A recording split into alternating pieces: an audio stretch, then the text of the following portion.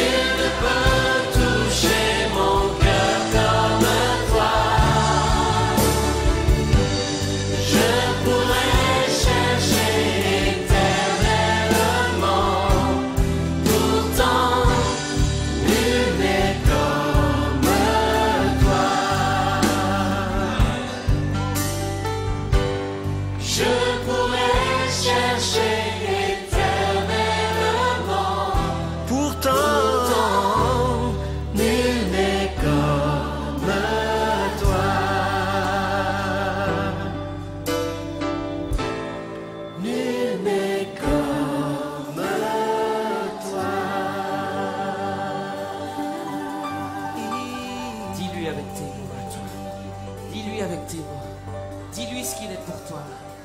Dis-lui ce qu'il est pour toi.